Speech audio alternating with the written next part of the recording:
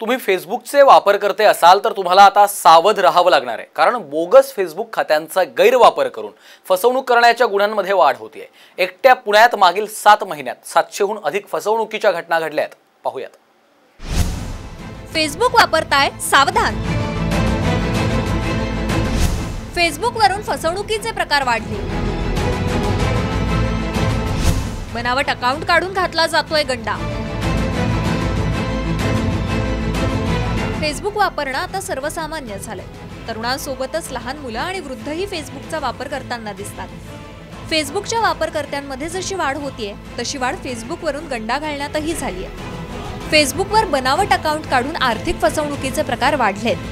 एखाद्याच्या नावानं fake account काढून त्याच्या फेसबुक फ्रेंड्सकडून पैसे उकळण्याचे प्रकार होत आहेत एकट्या पुणे जिल्ह्यात गेल्या सात महिन्यात अशा तब्बल सातशे घटना उघडकीस आल्या. आहेत. फेक प्रोफाईल काढून लोकांना फसवण्यासाठी पैसे मागायचे. तुमच्या मित्र तुमचं एखाद्याचं लॉक नसलेलं अकाउंट बघायचं आणि तसं सेम फोटो बिटो चोरून दुसरं अकाउंट काढायचं आणि तुमच्या मित्रांना सगळ्या फेसबुक लिस्टमधल्या फ्रेंडना रिक्वेस्ट पाठवायची की मी अशा अशा क्रायसिसमध्ये आहे मला मदत द्या म्हणून.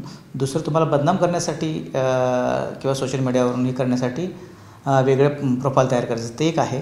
शिवाय काही फेसबुकनं फ्रे फ्रेंड फ्रेंडशिप रिक्वेस्ट पाठवायची आणि रिक्वेस्ट पाठवल्यानंतर ओळख वाढवून फ्रॉड करायचे. असे वेगवेगळ्या प्रकारचे प्रकार आहेत.